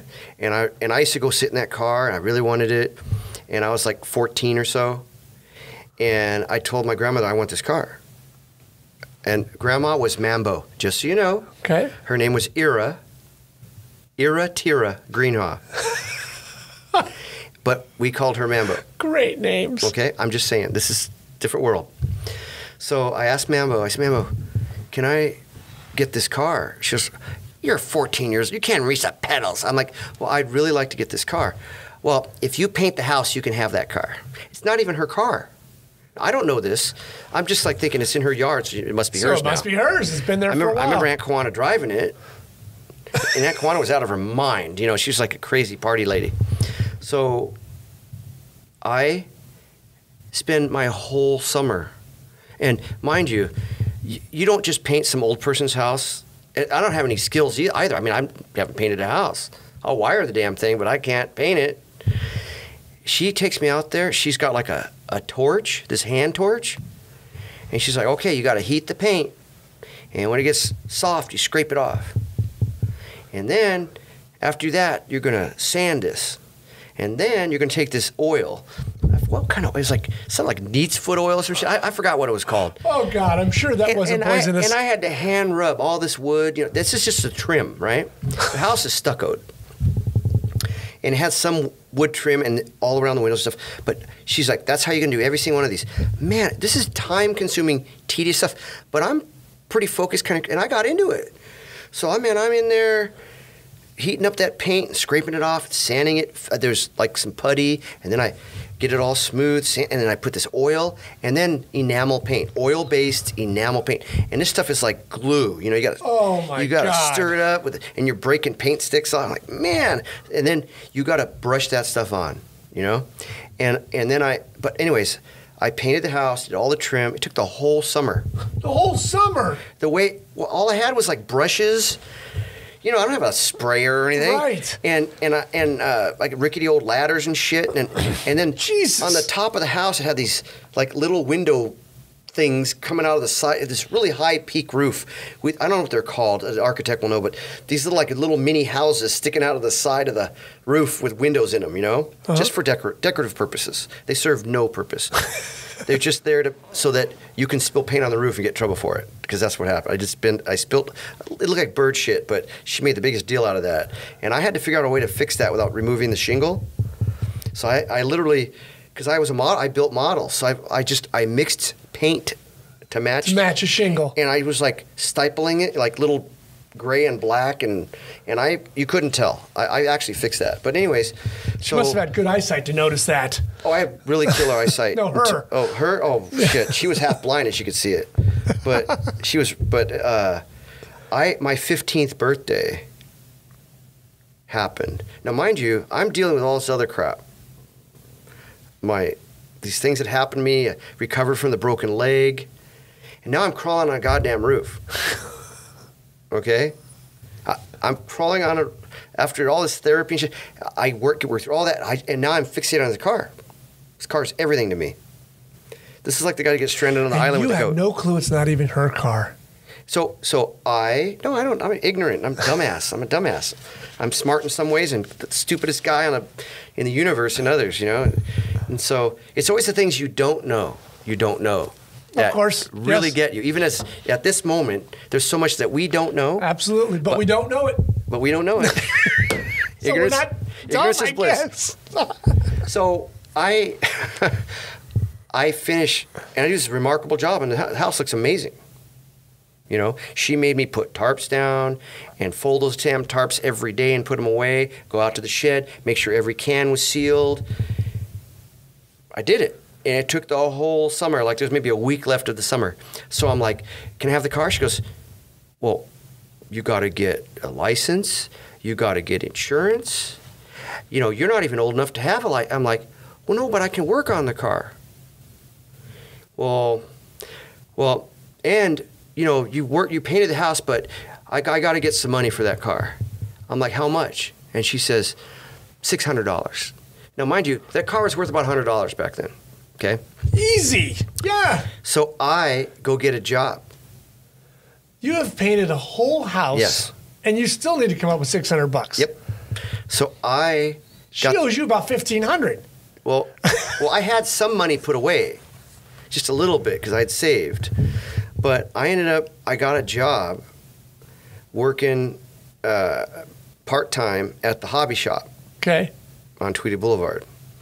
And and I did some electrical work on the side. I shit you not. I, I did some electrical work for people. They're like, "You're going to do what?" I said, "I can fix that. I can fix it." Anyways, I, I finagled away, and within six months, I had enough money to buy that car. And I started taking driver's training because you can get your permit at 16. Uh huh. So I did everything. But here's the really cool thing that happened. On Atlantic, just off of Tweedy Boulevard, was a place called Tony's Auto Repair. They worked on Volkswagen, Porsche, Mercedes, and BMW. Anton Buchler, the man who started Tony's Auto Repair, worked at Competition Engineering, the Competition Engine, uh, the Competition Motors. I'm sorry, Competition Motors in L.A., where James Dean got his car. You know, that was the one of the premier Porsche places in L.A. And he broke off and opened up his own shop in the early '60s in Southgate. This guy could do four cams, everything. This guy was a legit Porsche dude, right? And uh, like he worked on like Johnny von Neumann's car, and he did race support. He did all kinds of stuff. But the, uh, but ultimately, he just became the guy who owned this little shop in Southgate, Wow. And it was a family affair. So Adam and Adam's wife Herta and Franzela, Frank, and all these cool Austrian and German dudes who came here on a program after World War II, lottery system, they landed here. And Adam, pretty much by the time I went there, was like the main dude. Uh, Anton kind of was getting older and retiring, kind of, sort of. Passing it on a little bit, yeah. But I knew of that place, and I knew there were always beetles and stuff there, and so I gained control of the car, and it was a mess. You know, pedal to the floor, uh, carburetor frozen, and I didn't know a whole lot about cars, but I had an idea of like, okay, it's the stuff's here. So I would get on my bicycle. I, I got on my bicycle, and I got a bag, paper bag, and I put the carburetor in a bag, couple of bags, double bag, you know. Took the carburetor off the car, and I rode over to Tony's Auto Repair. And I get off my bike, and it's a bright, shiny day in this white building with a big door. And so, you know, when you walk from a bright, shiny summer day into a dark building? Takes you a while for your eyes to adjust. Yeah. yeah. So I didn't read any of the signs. I just walked into the void instead of the office where Herta, Adam's wife, was. Sweet lady. I walk in and he just comes out of it. I'm like, whoa, and I almost run into him. He's like, and this guy has this, he's like six two, very wiry, strong looking, scary looking dude, wiry, gray hair. And he's, what do you want? I'm like, oh, uh, I've I got a Volkswagen, and uh, it doesn't run. It's in my backyard. I, I bought it, and I got the carburetor, and I want to get the parts to fix the carburetor. That's all I wanted. But I brought the carburetor so you see what I had. And he says, he looks at me. He goes, "How old are you?" I said, "I'm I'm 15." He's like, "Come with me." So I follow him. We go into this room, and they got all these cardboard bins with numbers on them. 111, 113, all Volkswagen numbers, and then they'll have the Porsche number 6166 and 901 because it's very organized, like incredibly organized. Very German. Very. And, and he's like, he reaches into the box. This is the kit. Come with me. So I follow him. He takes me to a bench. And the bench is very well, it's very clean and nice. And on the wall are tools. He's like, take it apart. You know, take take this apart and uh, and let me know when you're done. Well, I'm like, Tara, I'm like, take it apart. Okay. So I just start taking tools. And I think I cut my hand. I slip with a screwdriver. You know, I'm total novice. And I take the carburetor apart. Well, I think I have it apart. Right, yeah. And he comes over and he's like, oh. And he like did something. He took a clip off or something. He goes, all right, take get the parts. Oh no, he walked. He walked over and he came back with a metal basket. And he says, put everything in the basket. And I put everything in the basket. And they had this little air powered bucket thing. And you hang. You would hang the basket and then put it onto the bucket and plug in the air. And there was a little knob, and he adjusted the knob, and it's just going back and forth. this air motor. You can hear it. This little pneumatic motor. Just he goes, come back tomorrow. The parts will be clean. I'm like, okay. So I come back the next day, first thing, and he's like, okay, and he gets the basket out and that incredibly clean. It's like this chlorinated solvent that would dissolve flesh from bones. You know, like it's you can't even get it probably now. Really? The parts were so clean and Like, they perfect. look new. Like just incredible. And so So it was just spraying this. no, no, it was shaking? submerged. So submerged. So the basket goes down in the solution. Oh, okay. And it, it just swishes back and forth. And he let it do that all night. Oh my God! So I come back. I can only imagine what that was. And I'm thinking we're just going to build the carburetor, right? And oh, and mind you, this solvent is nasty shit, right? And I've got like baby hands. of course you do. Not He's anymore. Got, yeah. But back then, I had baby yeah, hands, right? Soft little delicate hands. He's got hands like just. So he's like, all right, uh, you have to rinse the pots and clean them. So I'm, he gives me a rag, some other shit, and shows me the blow this nozzle to blow it, and I'm getting like, t- like totally saturated with fumes and chemicals, and my hands turned into like, like I have old man hands now. They look like that because of that. You know, it's like totally. When I went home, my hands were all cracked and turning red and drying. just and, bleeding little cracks on my knuckles and shit. Jesus, John. But I was so happy. So, but then it got more fun because he's like, uh, check the. He's showing me things like valuable things. Like he's like, you have to make sure it's flat. You know, it has to be flat. I'm like, it's flat. He goes, no.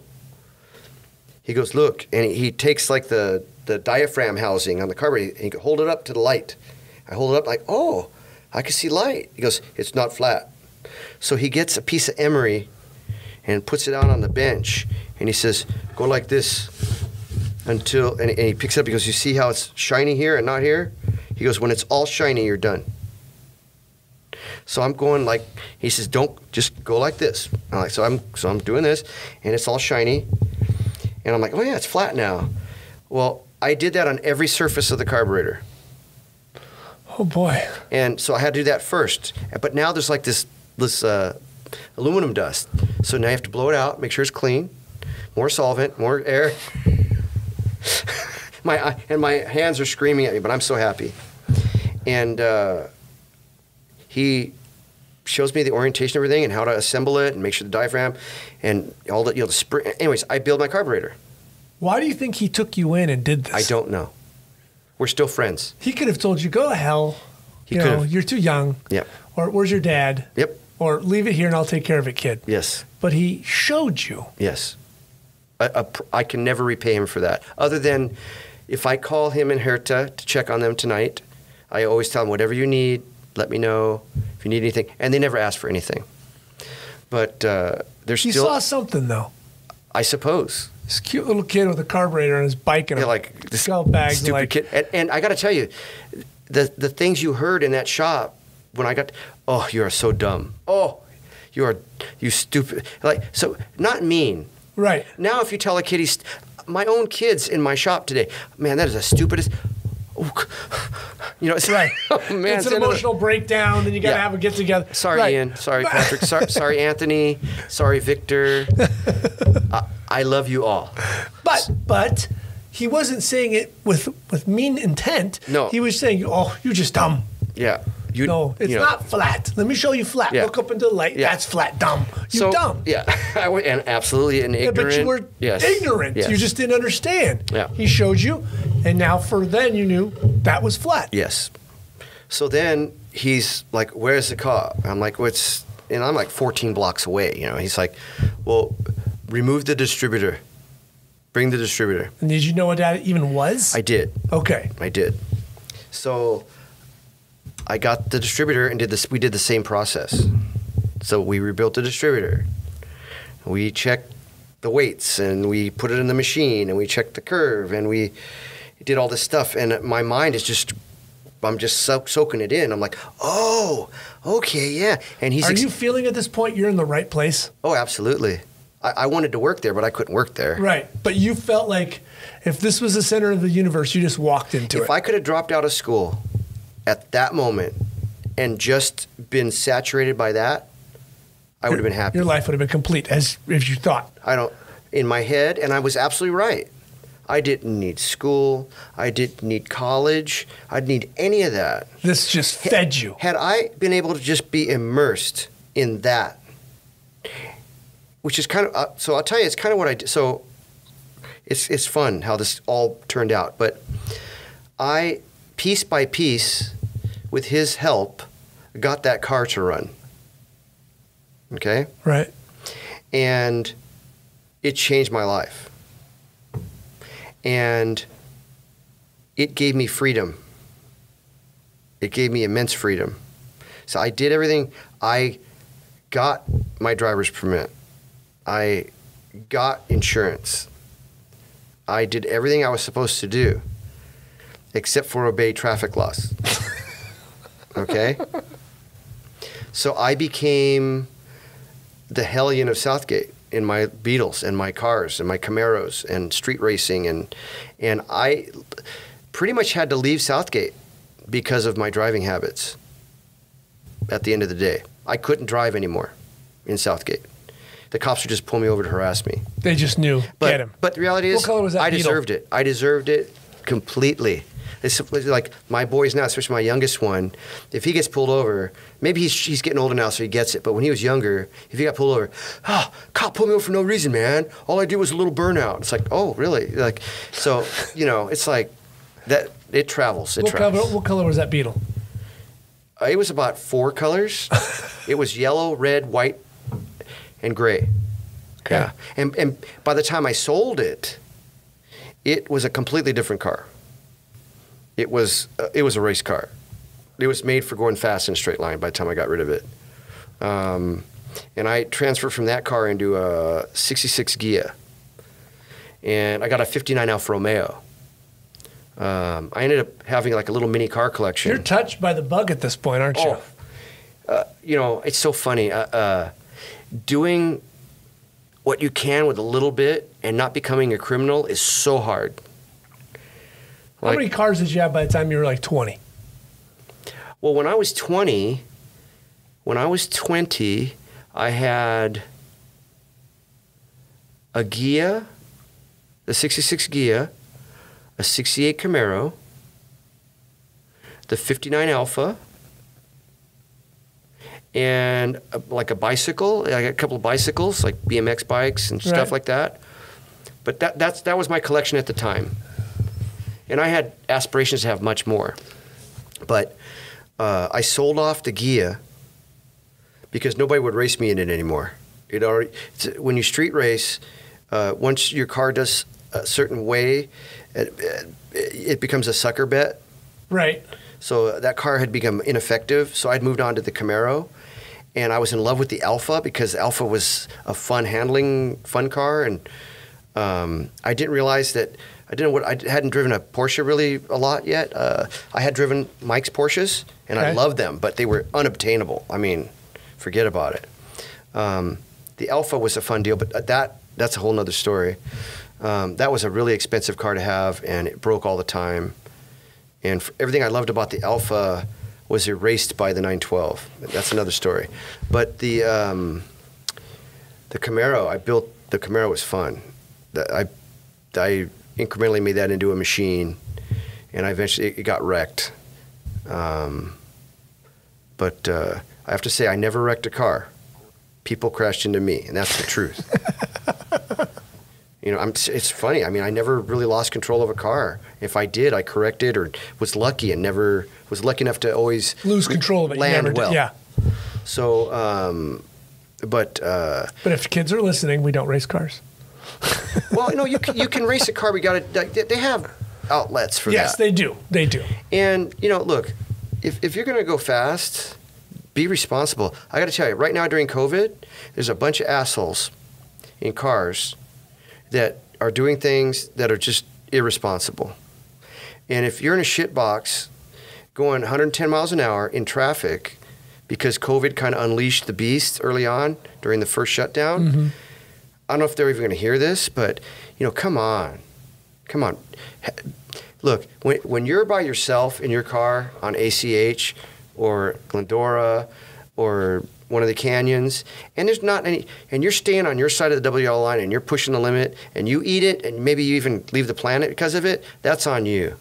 But if you take out a family, Right. or or or end up being a, a, a burden to your family because you can't walk, you know, I, or you know, you're a veg vegetable. It happens. happens all the time. Sure. Um, but I got to say, back then, uh, you know, rolling up on, on Mulholland and street racing, uh, where we did it over in uh, like uh, South Central, Compton, and uh, and uh, backside of Southgate and Lynwood. It wasn't really that dangerous. Right. There's nobody around. Well, there was a bunch of us, but we were responsible about it, and nobody was pulling knives and guns on each other, and uh, it just nobody was. Look, we we never ever ever did the things kids do now, where they do a intersection takeover Yeah. and do donuts, because let me just say there was a, a, a silent agreement between the police and us as street racers. We didn't create grief for anyone. If somebody lost control of their car and smashed, we called a wrecker, drove the guy to St. Francis. he got his leg, got a cast or got stitches on his head. Uh-huh. Nobody died. It was, it was just our little subculture going on.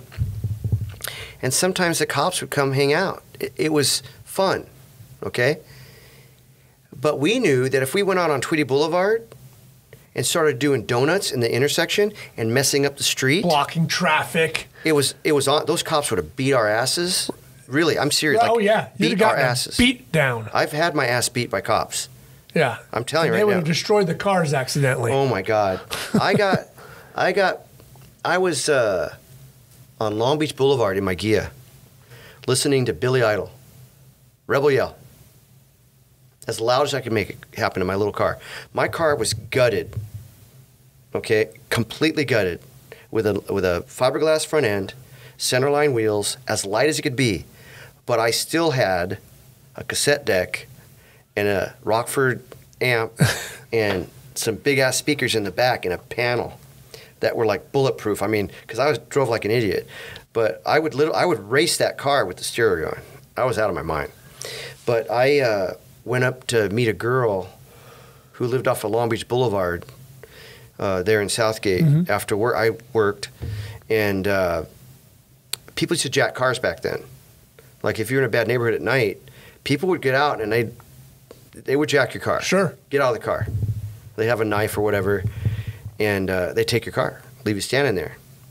And my Ghia was a pretty well known little car, and I I'm on Long Beach Boulevard. It's kind of late at night, and I cut through I cut through a gas station because there was a bus blocking my right hand turn, mm-hmm. just sitting there. So I cut through a gas station. Well, I came out of the gas station, and all of a sudden I see this car come out of the gas station that I didn't see, and it's following me. So I changed lanes. It changed lanes. I changed lanes again. It changed. I'm like, who the hell is this? And my stereo's blasting, and I got you know, like you know shitty glass in the car, and all I see is like these two silhouettes in this sedan, and I'm like, they're gonna jack me.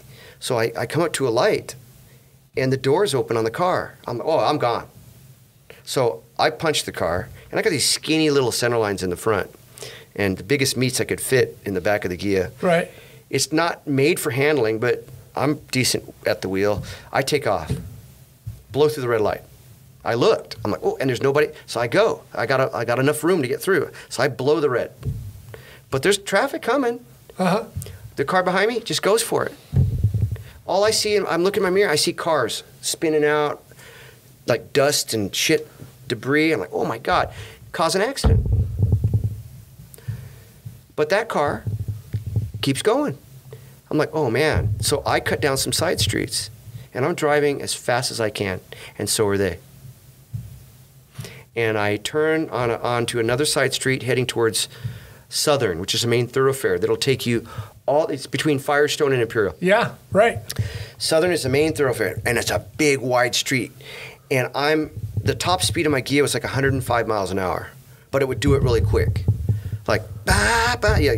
Clo- uh, the gears were really. It was a powerful little car, and I'm topped out as fast as the car will go, and I'm on Southern, hauling ass. Um, But I remember before I turned on to Southern, I saw something happen. I didn't know what it was.